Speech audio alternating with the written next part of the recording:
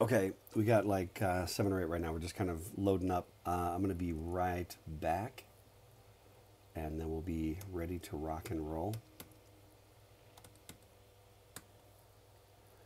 Um, let me get this stuff all laid out.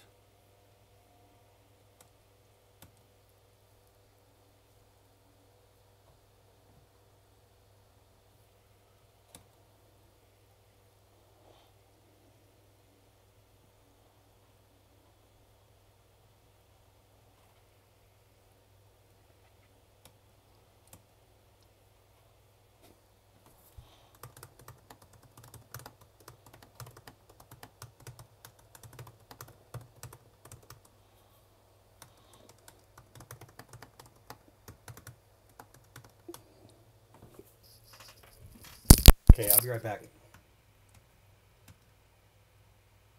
We're at nine. We're getting close.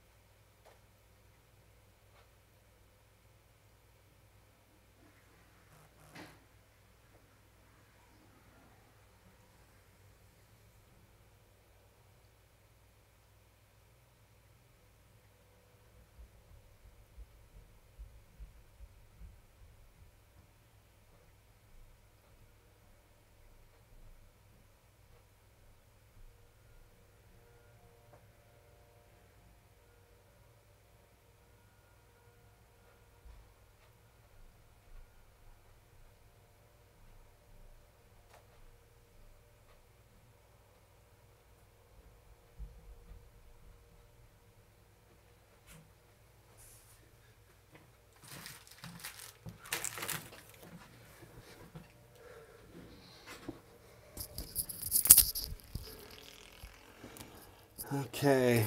All right, how are we doing on head count? So uh, we got chat going on. Um, once again, we're split on chat um,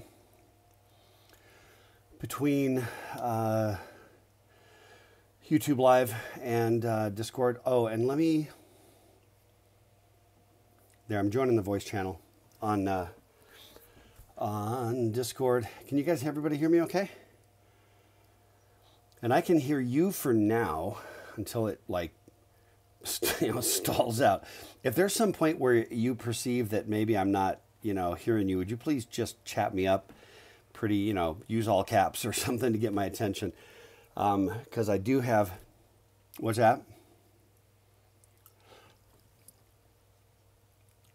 Yeah. Yeah, and what happens is the problem is it's kind of screen real estate, right? I've got so many, right? I know the I know the thing, Michael. Um, there's a and that helps. What happens is um, the the Discord chats are like coming through uh, little alerts. You know what I mean? Kind of just like dropping, and that's kind of kind of how I mostly see them because I'm limited on screen real estate. I really do need another external monitor. But anyway, here we are. On what? Monitors. Um, I only have one external monitor hooked up here. I have, I have like a flat panel. I moved, you know, I moved houses, moved offices, and I have like a flat panel that I used to have, you know, what would have been in that approximate position on my right. Um, and I've got another monitor or two. You know, it's more a matter of just kind of getting it organized. And then, of course, I know for the gamers, uh, there's no uh, conflict at all on how many monitors you need to create your surround experience. Uh, but I have where I have I need desk space too. You know, that's the trade-off. What are you saying, Michael?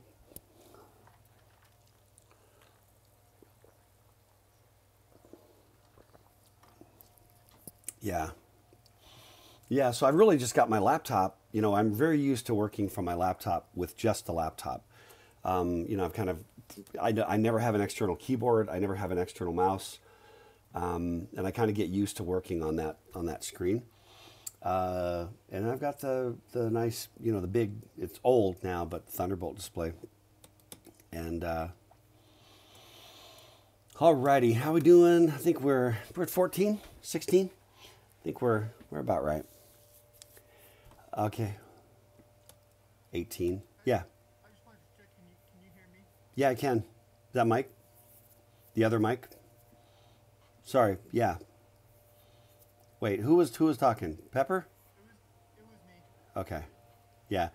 You can kind of see uh, there were a couple lights that flickered right at the same time, so I wasn't 100% sure. But yeah. Yep. Okay. Uh, so where the heck are we? What were we doing? By the way, so um, really number one every time number one is how you guys doing you know what are you are you you know are you hanging in there the the isolation is kind of you know it depends on your personality type so everybody else doing okay you know any family going down sick um, any kind of just kind of community just community health updates that anybody wants to give just anything that you know um, you know, you know that tiger in New York has COVID nineteen now. That there's a tiger in the New York Zoo. Yeah, that's fun. So that's like, that's like okay, writers, uh, sharpen your pencils, go. You know, suddenly, I don't know. It's suddenly like you know, I don't know, like twelve monkeys with all the uh, animals roaming around in the future you know, and a and a and a global pandemic. I don't know how many of, how many of you have seen that movie, but uh, you know what I mean. But now it's of course the the plot twist would be it's Twelve Monkeys for those. It's, an interesting it's an interesting movie. Um, I think it's a little overrated. my own my own take on it, but. Uh, the twist would be all of those animals roaming around the future New York are all, course, carriers of the virus, which would be, you know, I don't know. That's yeah. So apparently, and people are like, I didn't think it could jump to animals. You're like, you do. It, it, it, it supposedly they think came from bats, you know, another mammal. So yeah, I think that it can jump species. I think I think that's been established, as far as we know. So, not a shock to me the idea that you know it's gonna it's gonna potentially jump. But then it's like everybody with their dogs, like, you know what I mean? You go out on a walk, your dog, you stay ten feet away from somebody else and the two dogs Ah, I shouldn't even bring that up. That's just harsh. I'm so sorry for those of you that like have a dog, and this is like. anyway, I'm. I just want for those that take comfort in their dogs. I don't. I don't. I like dogs. I just don't like owning one, and having to live with one. But I love them. How's that? I feel the same way, I guess, about my children, right? Uh, I should probably stop right now. I think I'm going deeper. yeah, please save me, Michael, please. Yeah, yeah, thank you. And okay.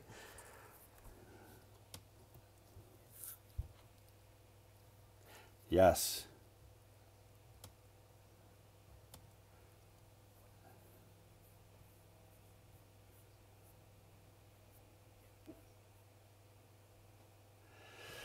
Oh, man, that's a good question. Hey, Steve, mute your mic while you're typing, Kate.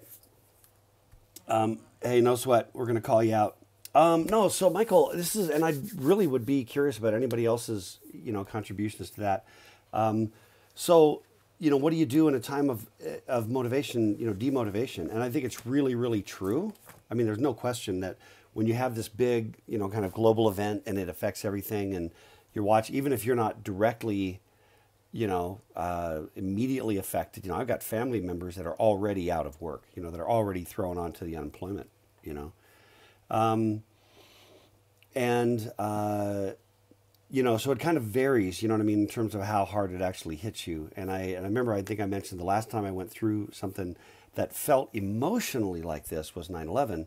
Just, you know what I mean? Just in the sense that there's this large thing and suddenly a lot of walls come down and there's more of a sense of community you know what I mean? There's a little bit more of a unity. There's like a wave of unity that kind of washed over the country. I thought after 9/11, and I feel like there's a similar thing if you can just you know stay the hell off Twitter. Basically, I think that there is a similar sort of among the actual rank and file. Uh, so I try to I try to um, okay. So back to Michael's original question.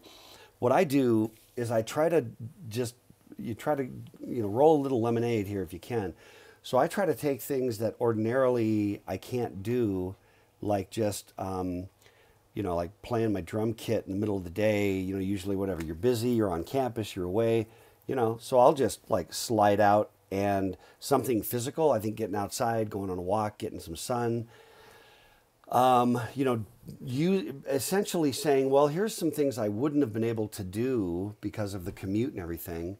So I'm going to go do some Duolingo. I'm going to learn, you know, whatever your cool language is for those of you that are doing Duo. You know, or I'm going to learn to play the drums better. I'm going to, you know, I'm going to I'm going to set myself up with things that are just purely Italian. Erica, boom. Molto bene. Brava, brava. Um, but we're going to um, so I try to um, you know, and then and then I just try to you know have contact with people, and Discord's been great for that. Just jumping on, you know, with students and still having fa- you know a little bit of that face to face, you know, via the video chat on Discord. Um, and frankly, having honestly, you know, Devin said because Devin was sucking up by saying he actually misses class, uh, misses coming to campus and going to class, and uh, so and that's it's actually really true. I think getting having something to get out and you know, just have a little more of the blend, you know, individual with, with other people. yeah, yeah, Devin, sucking up is what I said. Um, no, and so I find that, you know, just jumping on. The other thing I did, I mentioned it last time, right? I have since established a, a Discord server for the School of Rock, and I posted a link earlier on this uh, on the general thread here in 3450. There's zero pressure but if anybody wants to join the School of Rock, I'll be playing the role of Jack Black. And uh, that's another thing, Michael. I'm just trying to, yeah, I love that kind of social contact. My band can't have practice. You know, we can't do band practice. So let's go make a distributed video of, of us, you know, whoever wants to jump on and do something. So I don't know. That's anybody else got anything that's working for you in terms of trying to stay motivated? Because it really does trash your, uh, it trashes the rhythm for dang sure. You know, you find yourself, I'm way more nocturnal right now than I typically have been, you know. But no, any, um, anybody else? Um, yeah, what do you guys do? Yeah, yeah, hard to keep a schedule. Devin says.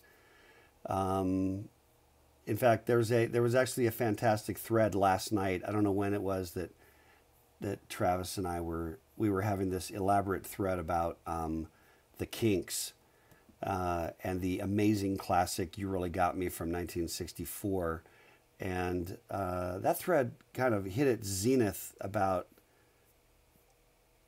11:30, 1:30 a.m., 2 a.m., somewhere like that. And we're just cranking, and it's it was you know to me that's a lift. That's a social lift. What are you guys doing to get through? I've got to have some social stuff. Yeah, I've got to have a certain amount of that social interaction, even if it's you know not. I love the face to face. And I really, and I think this is where the personality type comes into play. For some of you, it's like nothing actually changed. You know, I mean, it's better because I don't have to come on campus at all, and this is great. And some of you, there's a level of anxiety and that kind of struggle and discouragement. So you got to really go rely on whatever whatever the positive things are that lift you. You know what I mean? You've got to, um, you know what I'm saying? Yeah. Um, hey, welcome, Zach. Glad to, glad to have you dropping in here, man, to be a spectator. Um, no, anybody else? What are you guys doing? What, what are you doing? Because again, you know, for the for the real introverts, um, you know, it's really not as hard for the introverts as it is for the extroverts. That's just that's just true. You know, and the true true extroverts are just really it can be really depressing. You know, really discouraging. So, anyway, what do you guys got? Give me give me some share here. What do you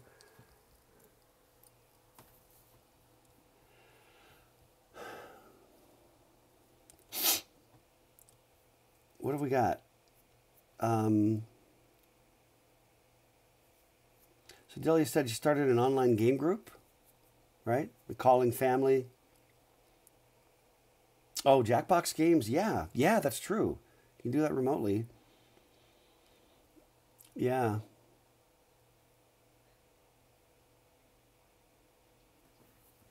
Really? So and that's uh, for the for the YouTube uh, lurkers. Um, Michael just said, you know, like drumming up, you know, tracking down friends from high school, and you know, I don't know. There's like to me, it's like a, it's like a pivot. You know what I mean? Like a funky social pivot. And I think that I think that um, creative. You know, so Ben said that works picked up quite a bit, um, and yeah. So anyway, but this is one of the reasons why I wanted to start the School of Rock so if anybody wants to join that, you know, um, you're more than welcome. In fact, I should probably let me drop a an invite onto the YouTube channel. So, you know, I just noticed. Um,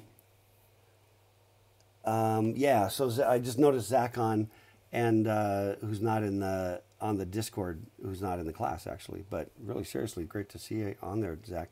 But so there's the uh, there's the School of Rock uh, invite for the Discord uh, server. Um, but that was the only way. What I what I think I'm seeing a lot of is is people like playing stupid Facebook games. You know what I mean? Um, and I don't know. I don't know. To me, people are we're social. We're social animals.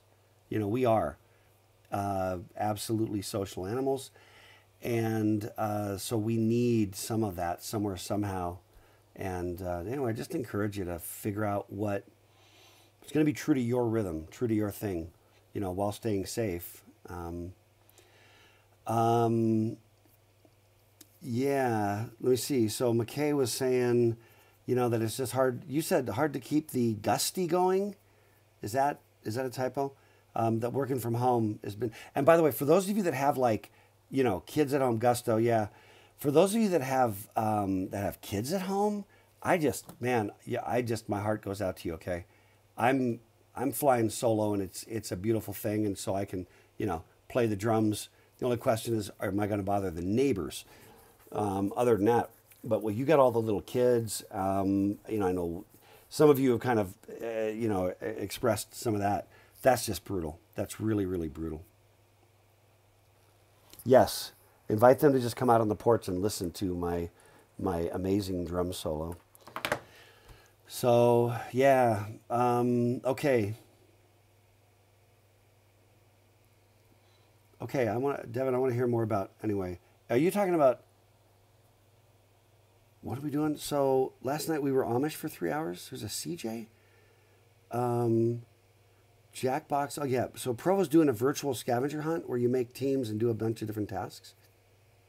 We're Amish for three hours cook dinner. That's actually from a social media fast perspective. It's actually really healthy. cook dinner in the fire in the backyard, played games. That's fantastic, CJ. That's great. Um, oh, by the way, which Sabrina are we talking about? Are we talking about the the Harrison Ford movie, Sabrina? Is that is it the movie, or is there some other Sabrina that I'm not aware of? Oh, it's a Netflix series. Okay, all right. Yeah, by the way, there is Sabrina the Teenage Witch. Seriously. Okay. All right. Well, maybe I'll have to dial in. Uh, there was that movie Sabrina with the Harrison Ford and whatever her name is. Um, anyway, and that's actually a great old movie, but of the same name with no relationship. Okay, let's do let's do some action here. And by the way, let me see. Yeah, so again, if anybody wants to join the School of Rock, we are just the only the only requirement is there's no requirement. That's the only requirement.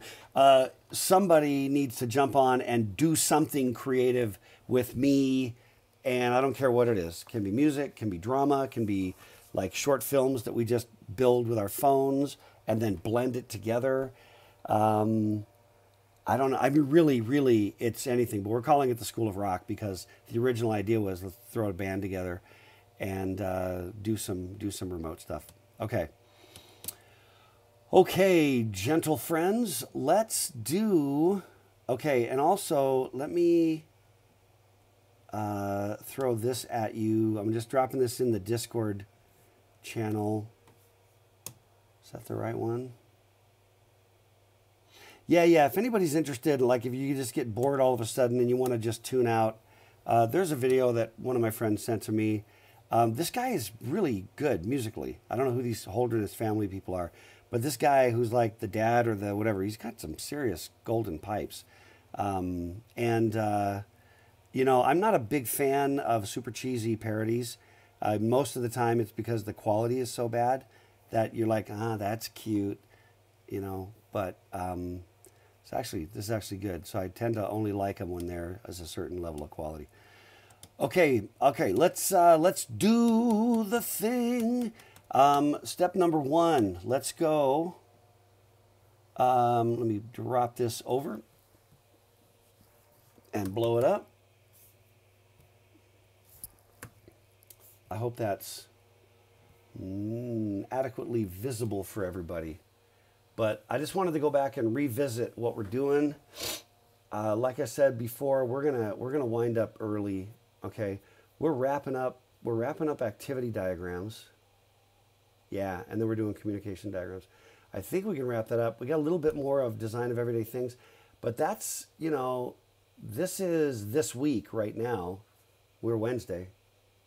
I think it's Wednesday, and um, and then it's just two weeks. So we're going to do basically a little bit of wrap up, and then you're going to kind of fly solo on these homeworks. And by the way, I didn't actually. Ah, I'm such a dumb. I'm so dumb. Uh, yeah, that was homework seven, and was the singleton pattern from chapter five. So what we'll do is basically we'll drop in. It'll be like chapter six, seven, eight, nine, something like that. And you're basically just going to kind of self pace on those. And I'll get that up. The deadlines, I'm totally, totally flex on deadlines, with the only caveat being that you still have to do it. Um, okay. But if you, you know, if there's things that are really getting in the way of all that, with with all the dynamics that we're dealing with, then uh, that's you know, I'll, obviously I'll work with you on that. So, all right that's really all we're going to do. We're going to wrap up those. You guys are going to work on those chapters. We're going to wrap up these lectures. Uh, and then I'm going to throw together some kind of final, which I'm going to have to do. You know, I think that last year, I think last year I may have actually done a, uh, like a take home final. Just kind of like a build me a doc, you know, answer the questions, build me a doc maybe we'll just do something like that again, you know, and save the hassle of having to jump on Canvas, you know, on a Canvas quiz. So, okay, um, anybody got anything else before I jump into some happy lecture madness?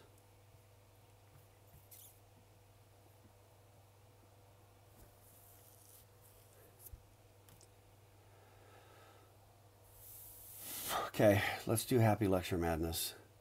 Um, hashtag Happy Lecture Madness. So, okay, I wanted to do. Where am I? There we go. There's Lecture Madness. We were talking activity diagrams, were we not? I think we were. And we were getting down to it. Um, all right, so we get rid of that. Actually, just get rid of that. Yeah, so let me break this down to where we were. I hope, um, I hope this has been interesting. This whole, oh no, you know what we were doing? No, I remember now. We actually finished. We finished. I bring your, I bring to your attention. Remember this? Who can forget this? Not UML diagram from hell. Um, with frankly, just some of the great graphics, and then complete utter lack of usability. Um, yeah, we did we did do that, and then um, we ended. We were I was pressing for time. I went over. I'm really sorry. We're gonna make it up by like literally just like not having to get together the last week or something. We'll figure something out. Um, and then we did. Oh yeah, we were yeah we were talking a little bit about this one. I got a little distracted. but I was like really confused by all of the graphics. Way too busy, way too cluttered. Oops, sorry. Way too cluttered, right? That looks like a bird, like the little, you know, the little tippy bird, the little, the little drink bird that'll like come down and you know drink from your cup. Um, there's a lot about this I like, right? We talked about this person's bowl cut um, and how we didn't like that. anyway, yeah. So that was kind of it. Um, and by the way, I'm having some interesting experiences with um, in 2810. You know, we're having to do online. The we do these those module exams that we do for the testing lobby, which we typically do downstairs in the lobby, right? Moving all those over to Canvas and trying to do like Proctorio and you know, it's man, it's really remarkable. Um, and uh, Devin and I were talking about this because he's my, one of my TAs for 2810 and also here in the class. But, you know, I was pointing out, you know, do you, do you see how all of this is really in the end about use cases? It's really, there are just situations where it's like, there's a thing I want to do and I can't do it. You know? And when you take that away from me, and why do you take it away from me? You take it away from me because you didn't conceptualize that a user would actually want to do that thing. Okay? Okay. Oh, you know what? Shoot, I was I was jumping on my last uh, my last uh, set of slides for the design of everyday things, and it was a problem. Uh, we've already gone through it, so I can't do that. Um, okay. And did I play for you? Did I play for you the the, the medieval help desk? The person with the the book that was used to the old scrolls. The, there was like a monk. Did I? Did I? Okay. All right. Yeah. Anyway. Yeah. Shoot. Okay. I'll drum. I'll drum up something else. Okay. I promise. Uh, the other thing would be probably really nice to talk about. We I didn't play for you the John Cleese video on creativity, but I'd like to go back and hit that before we're done. Um, did we talk about it a lot, or did we? I know we watched the. Uh, did we? I know we watched the um, the Ken Robinson video. So we did watch the. Okay, and so we did. We did watch uh, in class the Cleese. I can't remember if we just talked about it or if we watched it. Hmm. Yeah, maybe it was. Anyway, but there's some specific things I want to just make sure we touch back on. Okay, well, then there's nothing left but to jump onto communication diagrams, which is not a long uh, lecture. And so let's do it. And then I probably I probably owe you a little bit more of a patterns wrap up. I'm making some notes for myself. I do hope that um, one of my goals for this class is to kind of like warp your minds. Um, you know, this class is a lot more experiential. It's a lot less about, you know, here's the five things you need to know how to do in order to do double integrals across polar coordinates or something. Not that that isn't important. I'm not bad mouthing polar coordinates. I am saying that that's a skill you can acquire. And this is a lot more about the sort of the experiential evolution in terms of thinking. So I just want you to know that's very much. Oh, Devin, I want to hear about. So Devin said um, on on the Discord that they, they care about these patterns at my internship this, com- this summer, and they asked if I was familiar with them. Devin, do you want to? Uh, I don't know if you want to chat those. Um, and then again, for the for those that are strictly on YouTube, um, you're not going to necessarily hear the audio, but um, maybe somebody who's listening can like, if you wouldn't mind, like chatting a summary over to over to um, YouTube Live. Would somebody be willing to do that?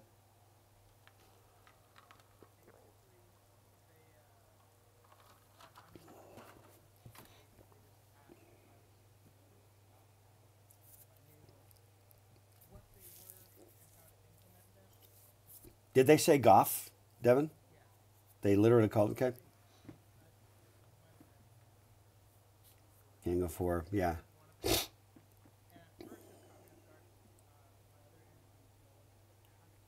Okay.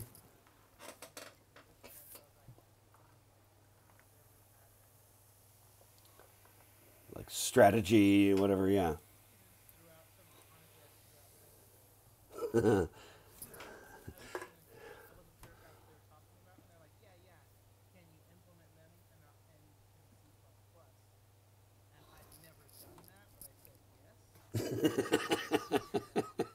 right and you have the book you you know there's the there's the skater chick book for a reason right you know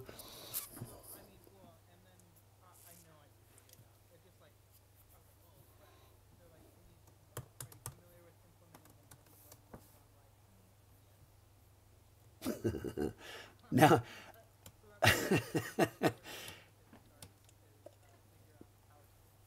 okay yeah that's good no, that's interesting. That's interesting. And, um, but they didn't like you know hand you a hand you a dry erase marker and put you on a whiteboard and say, why don't you implement, um, you know, observer. They didn't. I mean, right? I to me that would be like way overly pedantic. Um, to make you like literally like uh, whatever. Nobody expects you. Where's Skater Chick? Nobody expects you to have this thing memorized. Okay? She does not, even she, right there, you see it? Even she does not expect you to have this thing memorized, nor do I. And to me, it's more about exposure than you kind of look things up, but it's that notion, you know.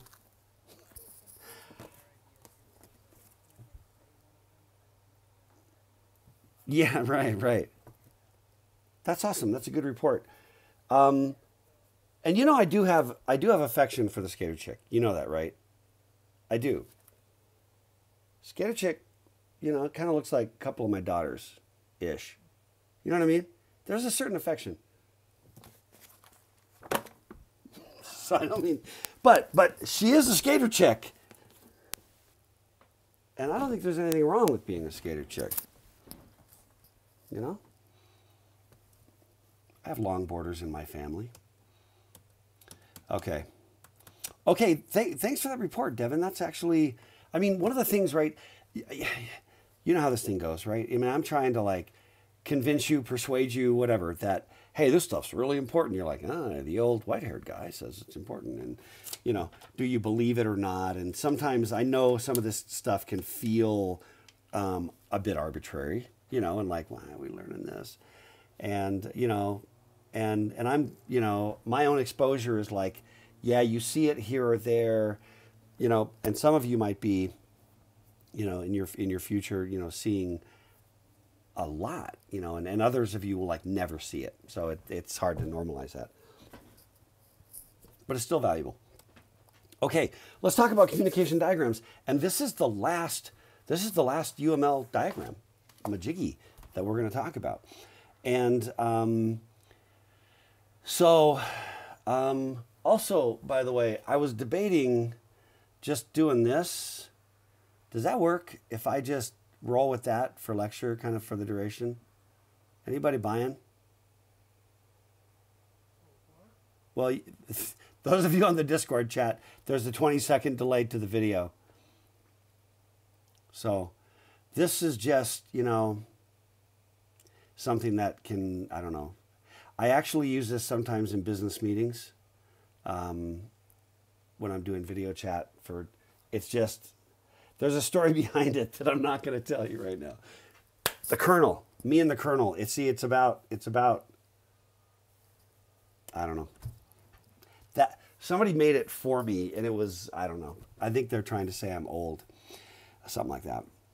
Anyway, um, okay, communication. Let's do it. Let's do this thing.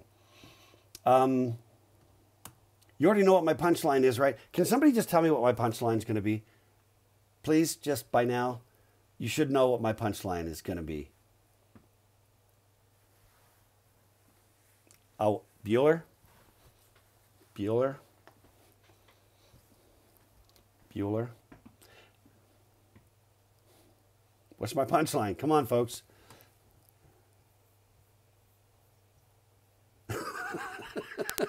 No, Michael. No, I want you guys to do it. Come on. What is what is my speech before I launch into this UML diagrams? Why am I inflicting these UML diagrams on you? And why this set? What what's what's my punchline going to be? Yeah, what else?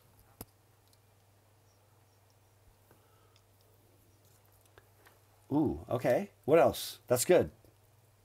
What else am I going to say?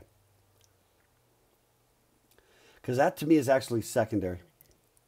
A means to communicate? Okay, agreed. What else? What's that? Hang on. Uh, yeah, so so Delia said, giving ourselves a framework to talk about and uh, and or understand material. Yeah, absolutely. And then what does Sapir Whorf have to do with? By the way, these are like these are questions from the final. Okay, what does Sapir Whorf have to do with that? Why do I keep why do I keep talking about Sapir Whorf? By the way, Michael, you're you're assuming that I've got Delia's name correct, and and I I may be off slightly as well. So, but anyway, so Delia, please please correct us, okay? Because uh, we we absolutely want to get it right. Um, I think I've got it, but I'm not sure. Um, no, what else? What else? Why Sapir Whorf? Okay? You got to know this.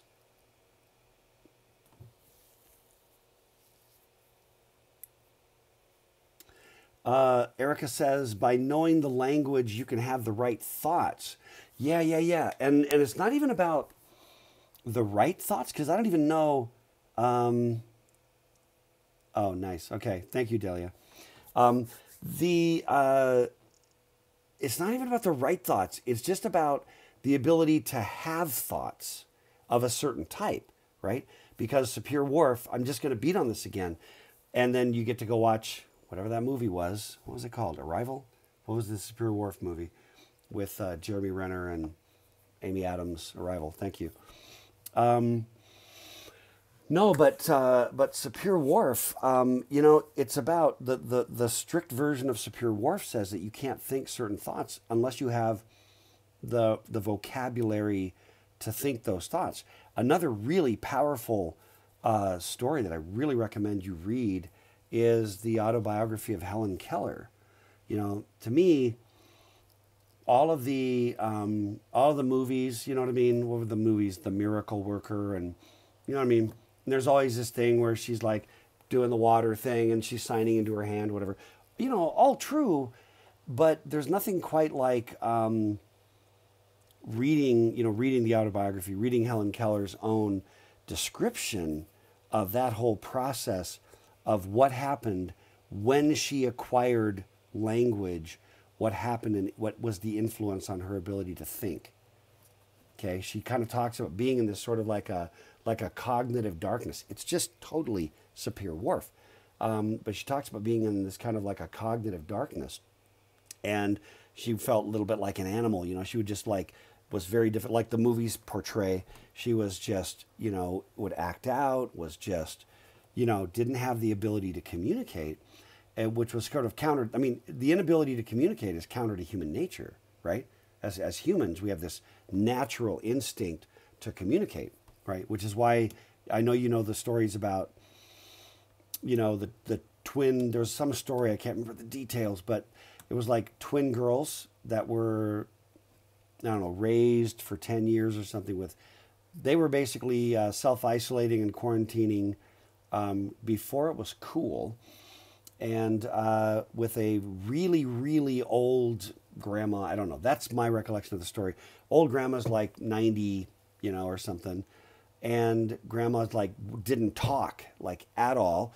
So these these girls who were, um, you know, they weren't deaf. They weren't they weren't dealing, you know, with with an inability physically to hear sound and to talk and communicate. But they had no. There was like no TV, no books. They were basically. If anybody can come up with the story and post, that would be great. But basically, um, they evolved their own language. They literally evolved a language of their own creation, dynamically living essentially like in a sensory deprivation chamber with only the two of them. Fascinating, right? Because there's such an instinctive need and desire to express ourselves, you know, verbally and otherwise, you know, which is why the arts, in my view, are so absolutely critical to our humanity.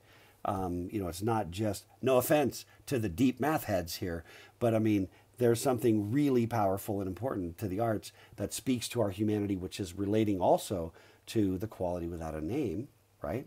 There's music, there's art, there's poetry that speaks to us because it resonates somehow with our humanity, right? Anyway, so uh, the autobiography of Helen Keller, huge for understanding linguistics and the acquisition of language and the Sapir-Whorf hypothesis, frankly. Even though it doesn't mention it, you know, I was reading that back whenever it was, 30 years ago, I don't know.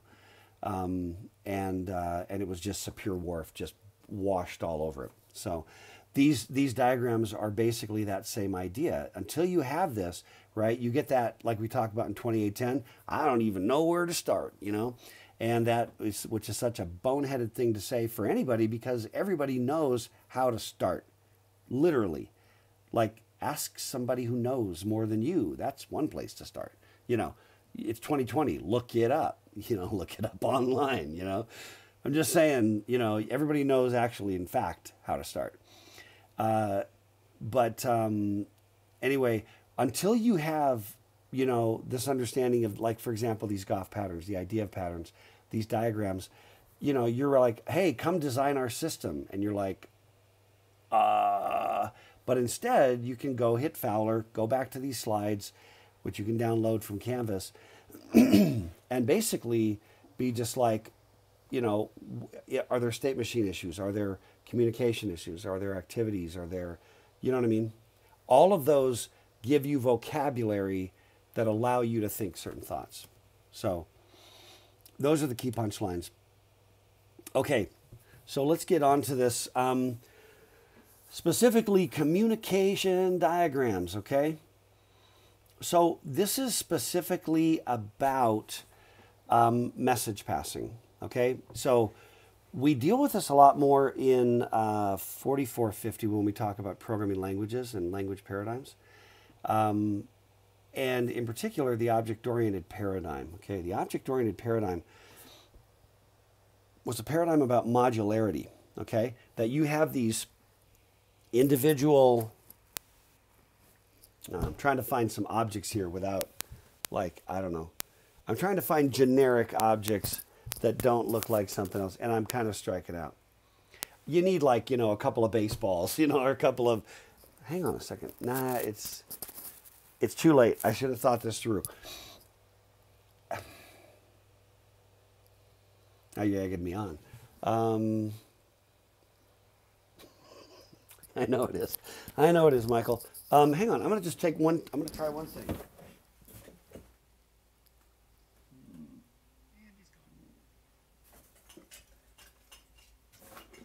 Okay. I have a couple objects. All right. I found a. Oh, dear. One of, the, one of them is this light bulb, which just fell on the floor and didn't break, thank goodness, okay? The other one, by the way, so I've got these two objects. Now, this one was something that my daughter made for me, okay? It's This is an actual cross stitch, handmade. But if anybody wants to get their phones ready, just out of, just out of curiosity, I'm going to throw that up there. There we go. It's always hard, by the way, to when you can't actually, you know, to try to see the screen anyway, if anybody wants to like check out the QR code,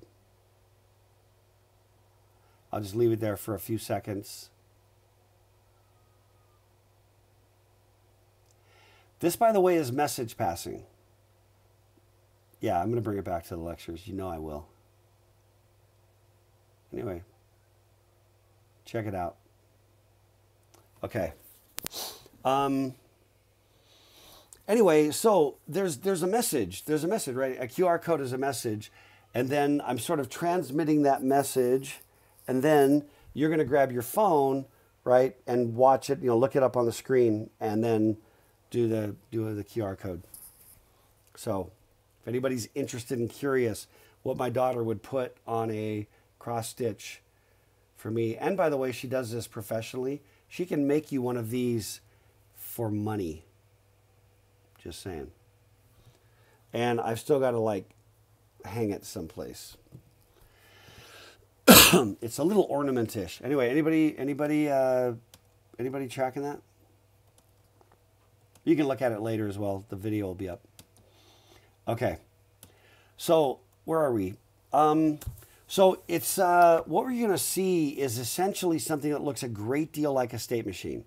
And notice that the last thing we talked about, the activity diagrams, also looked a lot like state machines because the notion of transitioning from one thing to another thing, you know, that that that is a very common idea in software, um, and you know, but it, but the state machine, you know, we talked a little bit about the differentiation between, you know, the state machine would be like the internal states that that something moves through, whereas the activity diagrams were more of like workflow. You know, the workflow as something move maybe moves through production, or moves through a warehouse, you know, and then through a supply chain, um, etc.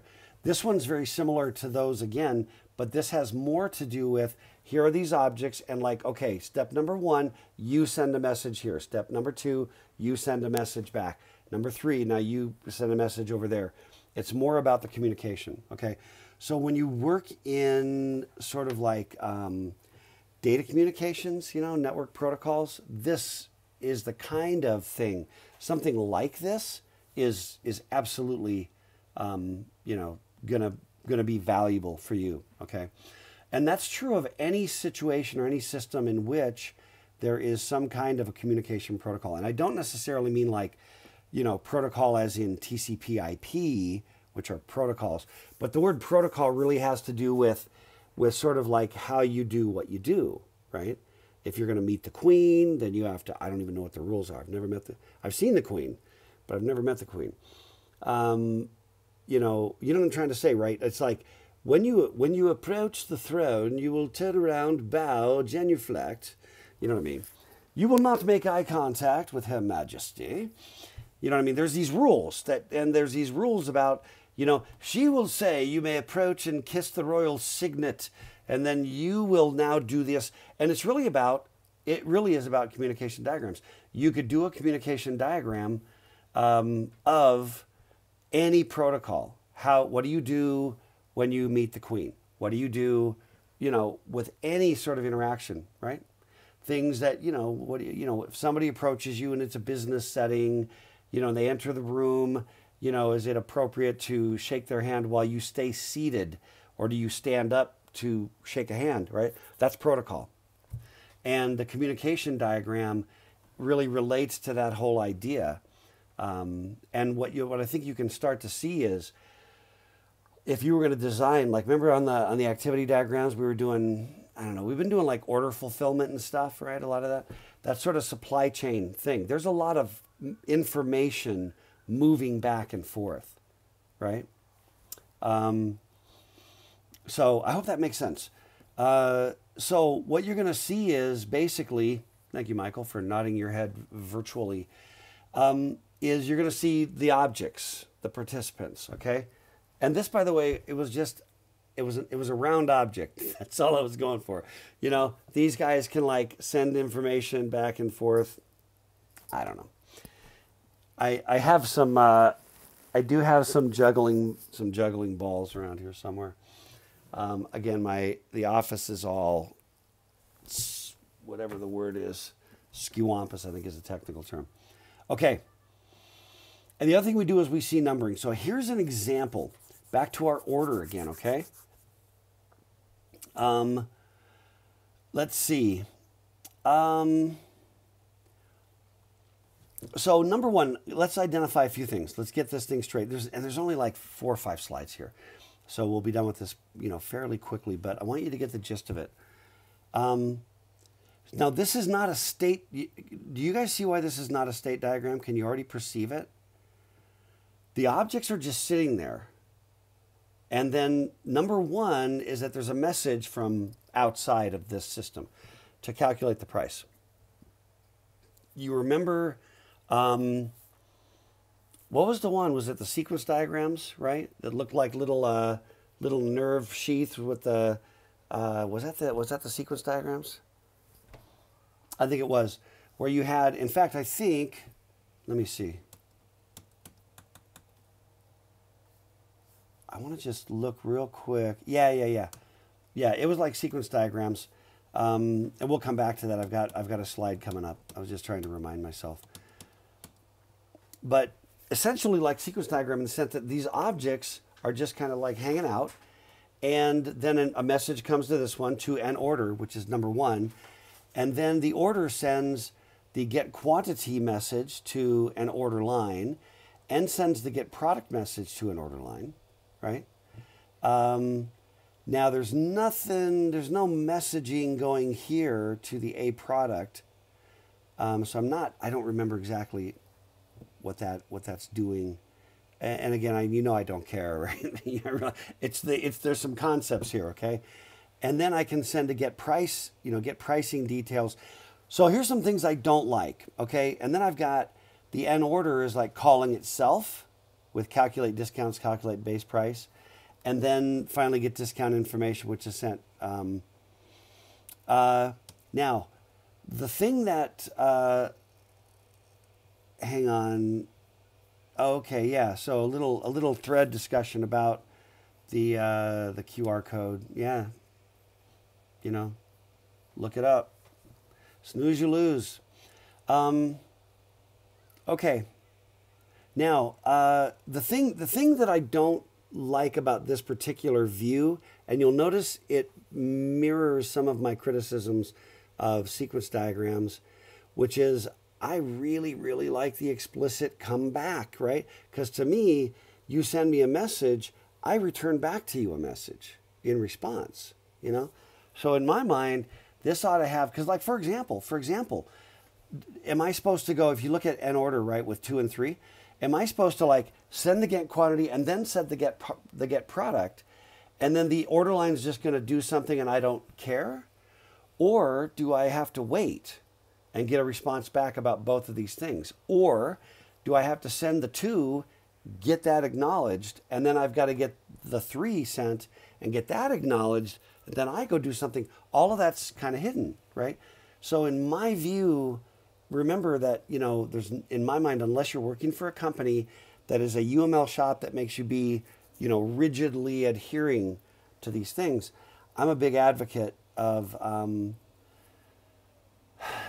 you know uh, make it your own. Uh, you know what I mean? Adjust it.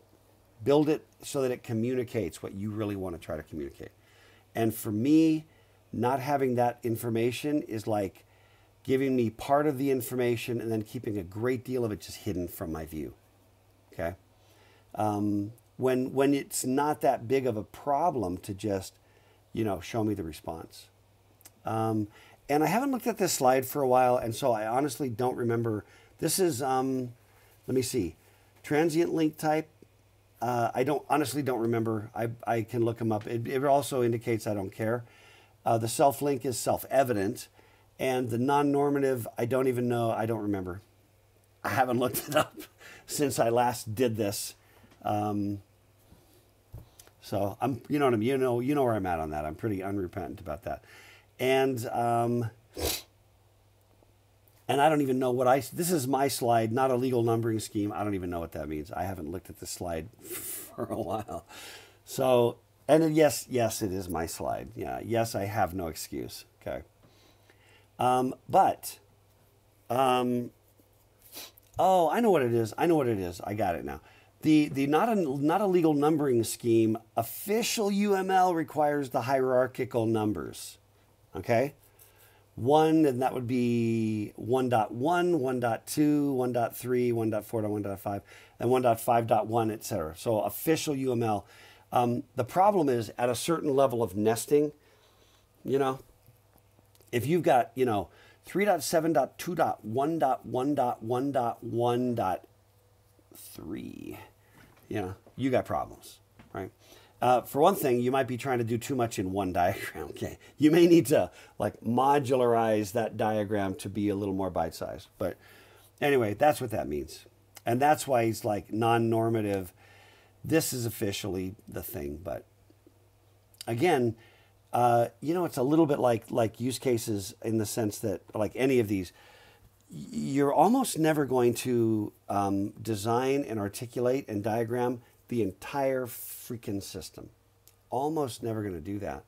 Um, but there might be just something that you really need to get it right. You really need to understand it. Just that one thing, really, really, you know, carefully, and you whiteboard that. And I've done this a million times, never an official UML, right? Where you get on the whiteboard with you and whoever's designing with you, and you're like, okay, you draw a circle, and then this guy's got to go over there, and then that's going to get here, and then this goes here, and you start numbering them, and then you build the flow. You do this all the time when you're building real software, um, especially when there's any modularity, which is like every real software, right? Yeah, when's that going to occur, right? Um, every time is when that's going to occur. If and as soon as you have a server, front end, back end, I mean, anytime you stick like the internet in between, so when would that happen? Like everywhere now. You know, you can't even build an app, you know, without some connection, you know, to the internet. As soon as that happens, you're you're sending messages and you're like waiting to make sure you've got what you need. Okay. Hope that makes sense. Uh, and as always, um, jump in with you know with any questions, comments. You know, you're not going to slow this thing down because we're we're almost done with this. Um, and I really blew it on not actually having um, more more design of everyday things to talk about, which we'll do next time. We'll we'll be wrapping up soon. Okay. Anyway, so here's the thing. That's there we go. Sequence diagrams versus communication diagrams. So this is the part where you gotta you need to pitch in. Um, if you're again, if you're just on on YouTube Live I got 20 viewers on YouTube Live. Um, and I've got how many people in the in the voice chat for Discord?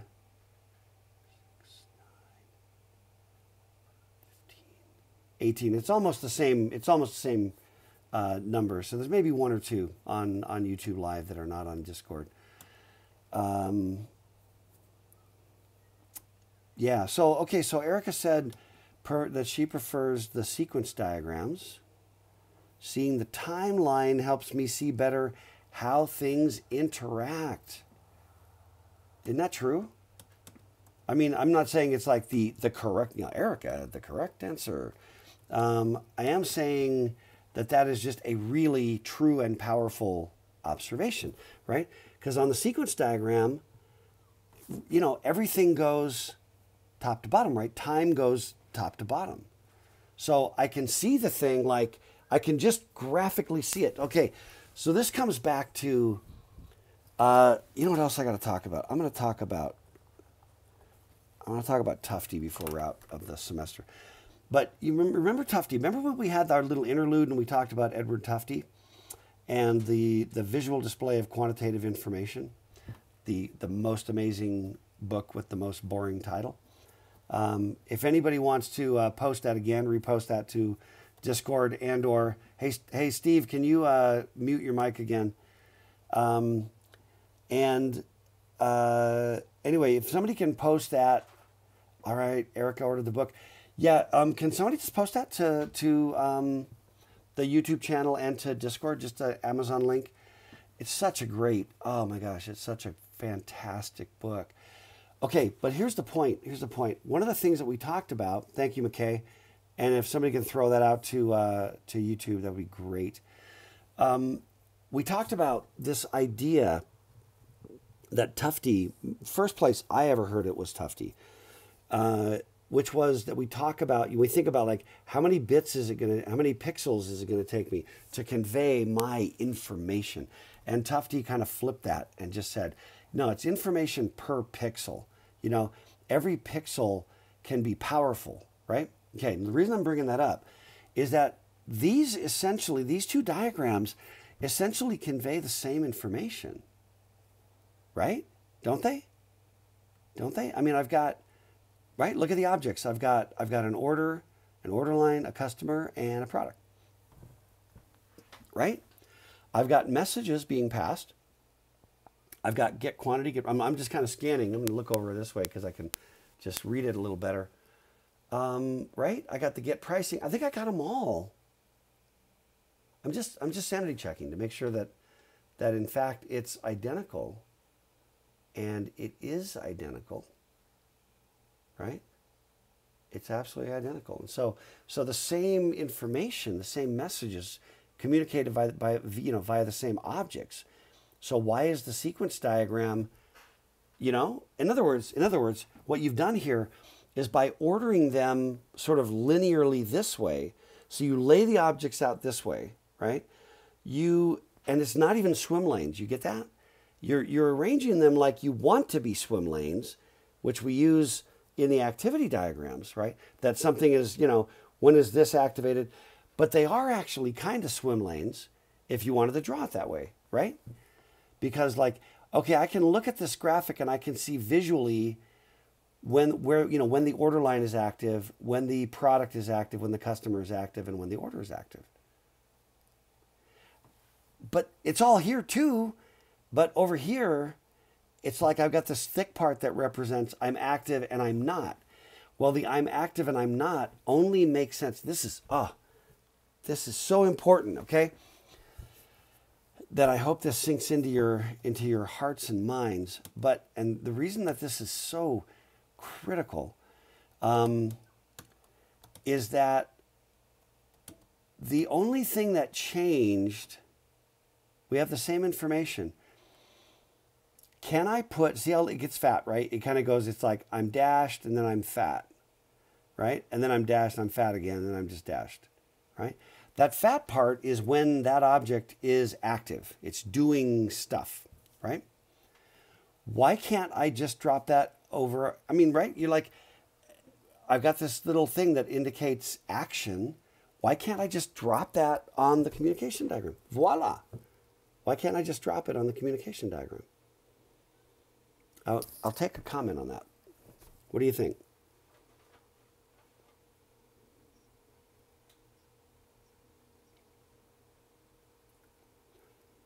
Right. So my so Michael says, you know, it, that the the communication diagram doesn't support it. Was the first thing you said, right?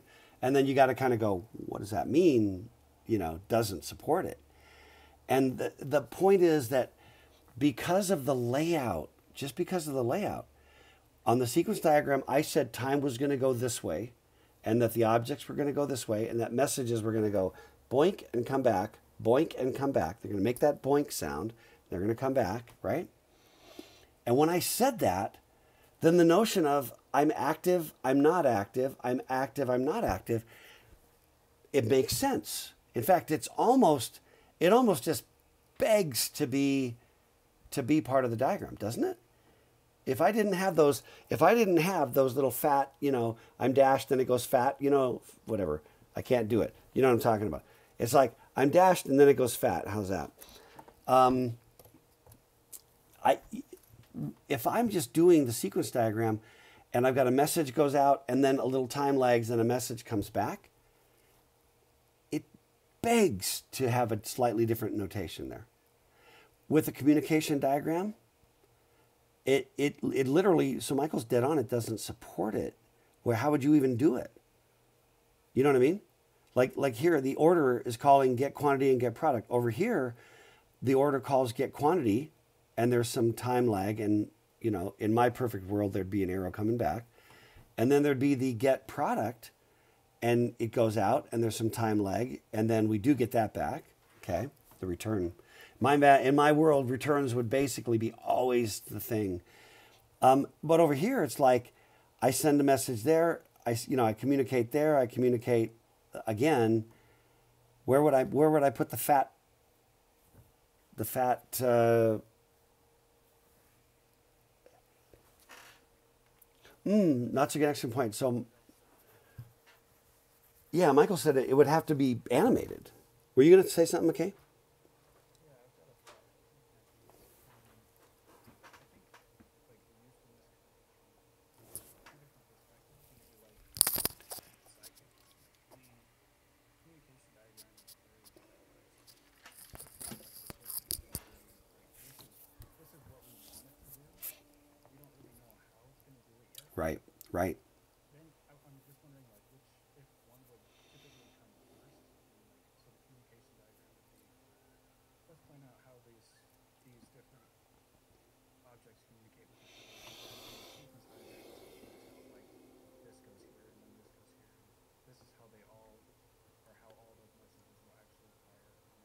Yeah. So, and for the for the you- no, that's a great. Those are great thoughts for the YouTube listeners.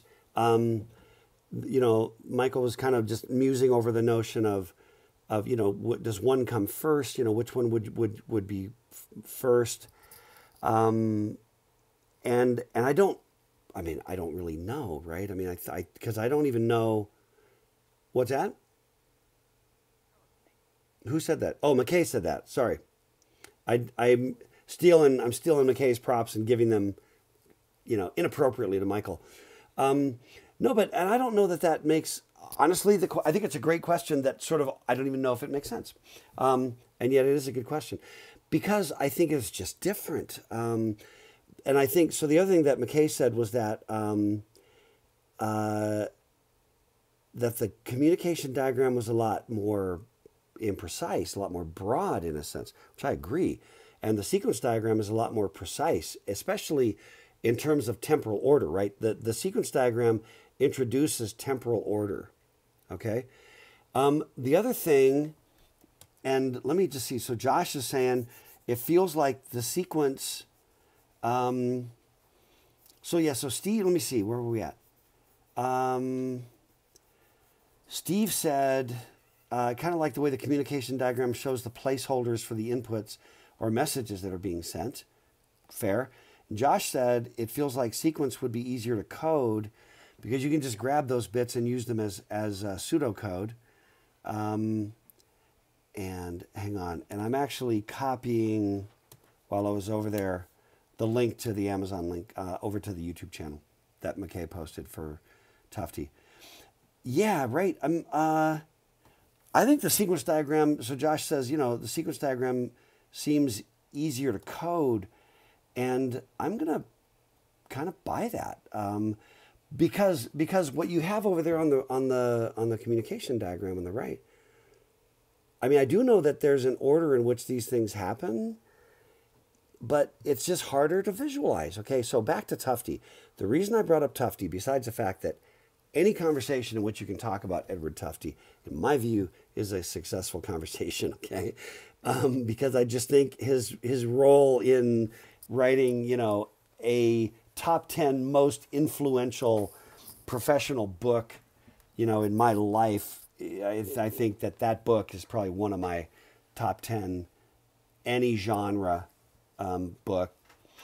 But um, no, what I, I look at the communication diagram and my own feeling about it is that it's almost more like understanding dependencies. You know what I mean? It's almost because what does it tell me at a glance? At a glance, I can see sort of like who's dependent on whom. Is that grammatically correct? I think it's who's depending on who is dependent upon whom. Um, um, it has to be equivalent to you know on whom, to whom, with whom. Uh, okay, uh, yeah, yeah. So you see what I mean? If I look at that communication diagram, I can see real readily that okay, customer, you know, the order is dependent upon customer, orders dependent upon product, and depends on order line. Right, and has some of its own internal methods. That's what I see. If I look at the sequence diagram, it's actually harder for me. Do you see how harder, how much harder that is? To answer that question by looking at the sequence diagram. And I'm going to come back to Tufte. Okay, I'm not done. With, I'm not done with Tufte. If I go back to the sequence diagram, I'm like, okay, there's the order. Okay, yeah, it talks to, sends a message over to this, you know, vertical line. I trace the vertical line back up. Oh, that's the order line. Yes. Okay.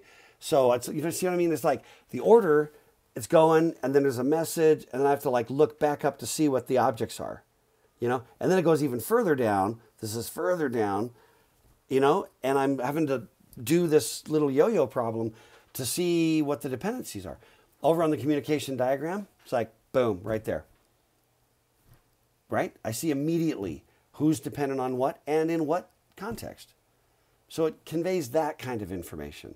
It also provides the order, you know, by it, it provides the order numerically, but the sequence diagram provides the order, you know, intuitively, uh, almost viscerally, right?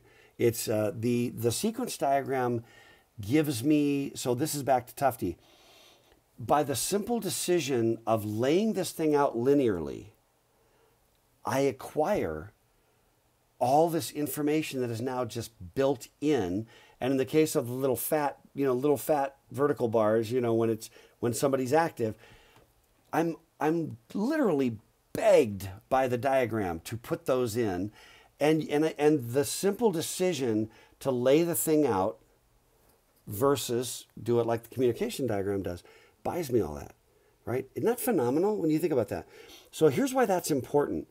Um, there are times when people are writing code and you're fighting your code, you're fighting your dumb code, and you can't get the thing to work, and you're twiddling bits, and you just you're dying, you know. And then there's some other times when um, you know you're writing English, you're writing some document or whatever, and it just doesn't sing, it doesn't it doesn't pop, you know. And then and you kind of do this like local edit, like what are the words I need to change. This happens a lot when I'm doing publishing with students, right, who are just generally less experienced, you know, as uh, as writers. And I'll get this question a lot, and it kind of goes like this: Okay, what are the words you want me to change? Right? And you see the problem. I hope if I give you a communic, if you show me a communication diagram, and I say, okay, I see the order flow there. I kind of see the temporal flow, but I need you to show me the temporal flow more explicitly. So then you add, you know, the, the little numbers and the indexes, you know, 1.5.1. And I'm like, okay, that's a little better, but I'm still not, I'm not feeling the order, right? And then you hand me the communication diagram and you say, okay, what lines do you want me to change? You realize how what a broken question that is? It's a broken question. Because what I really want you to do, if I'm really insistent on that, what I really want you to do is make a sequence diagram, right?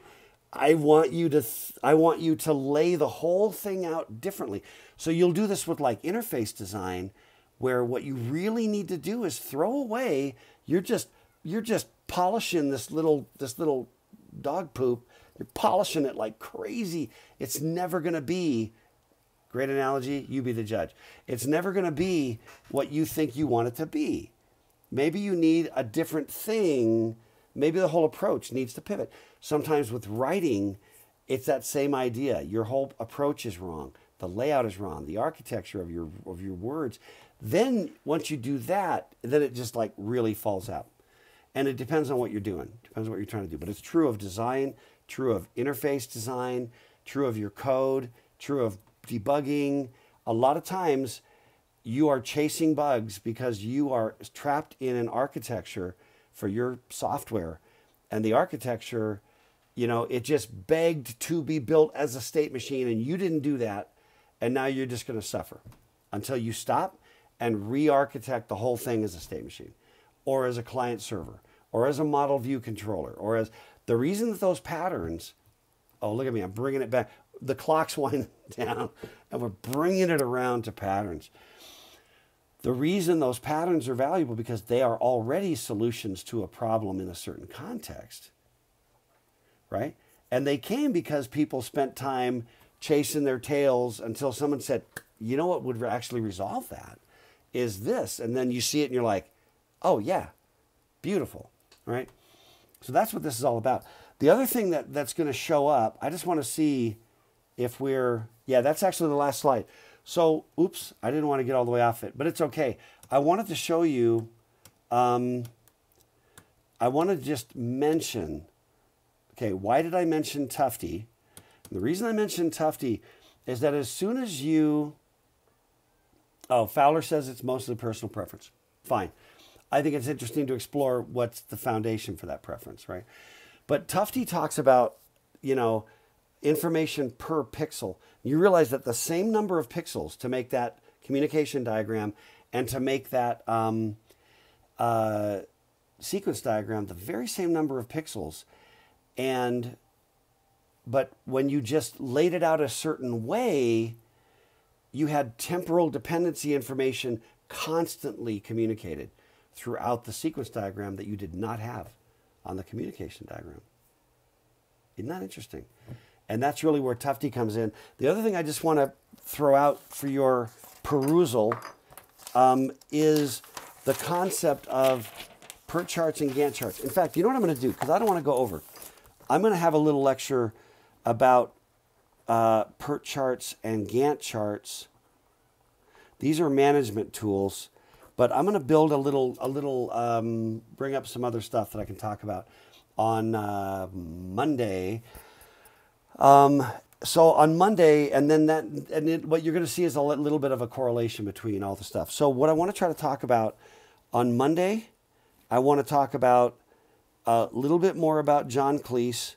I want to do a little more of a patterns wrap up. I want to talk about Tufte. I want to talk about PERT charts and Gantt charts.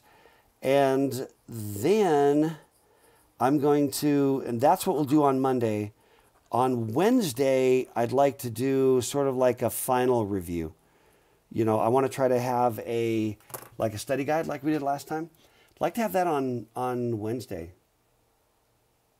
No one's going to be upset about this, right? I just I want to be done. I want to I want to be done. So do you. And I'm going to get the um, homeworks all fixed, like right now, um, so that they're representing what I want you to try to do. Um, I did tell you that we were going to be doing basically the same thing, so I'm not going to feel too bad about doubling back, even though there's one from like last Sunday or whatever. Just do them, get to them, and you know I'll take those. You know, try to get them all wrapped up. Um, ideally by the end of the semester, but under the circumstances, we can take them. You know, potentially in the finals week if we need. Mostly, I just don't want you to quit early and then just like flat out not finish. That's a problem. I don't want you to, to get hosed that way. Um, check out School of Rock if you want to join us for, and again, it doesn't have to be rock and roll. It can be just, it could be anything. I'm really curious, but you got to be, you know, got to brainstorm with us. And uh, I think that's it um, for today. So stay safe. Please stay safe and, uh, and well physically and emotionally. And um, I am available anytime that you can find me on Discord, either to talk about the class or to just talk about life. Um, you know, just want to chew the fat. Um, you know, or you whatever, you're just struggling. I just like to be here, you know, like to just be here. And if you can catch me on Discord, just ping me. You know, we can do a private chat on on uh, on Discord. All right, my friends. Take care we're gonna um, as we go to the shutdown, we'll just let the we'll let the kernel just kind of uh, govern govern down the stream here. Yeah, it's been a good day for me in the kernel.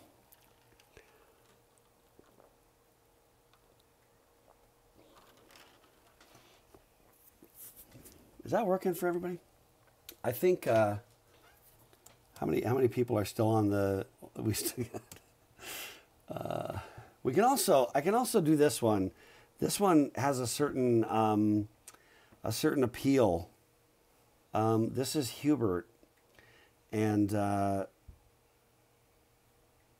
yeah, I don't know, man. I don't know. I'm thinking also. Ooh, it occurs to me, for those you know, we're done. But for those that are just still watching this far, for the School of Rock, um, we can also do. You know, these are characters. We can bring we can bring these characters to play if we wanted to do some kind of it could be something dramatic there's obviously the skater chick um, we could do something dramatic with that we could make a music video i don't know i don't know anyway i'm done.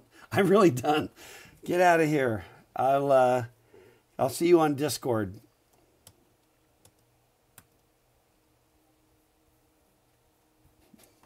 See ya.